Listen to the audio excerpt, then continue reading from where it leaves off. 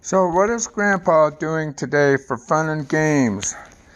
He's at the warehouse and he is taking these bags that are in these packages that was given to us, and we're going over here to take these newborn kits and put them in this bag. And that's what I'm busy doing at the moment. Then I've got seven of them done already here and I am going to take them and put them in a pallet and put them in that truck.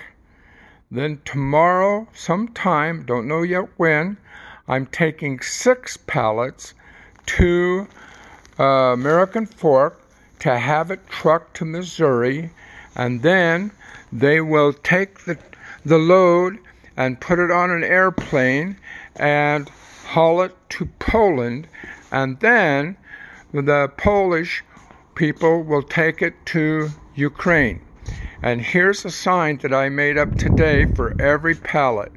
Can you read that? Ukraine, we've got 52 quilts and 45 newborn kits, which I'm working on.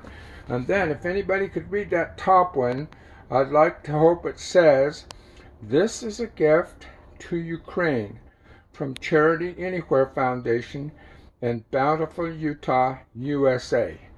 Now, why am I doing this? Because before I say my prayers at night, I like to have a smile on my face saying, What good in the world did I do today?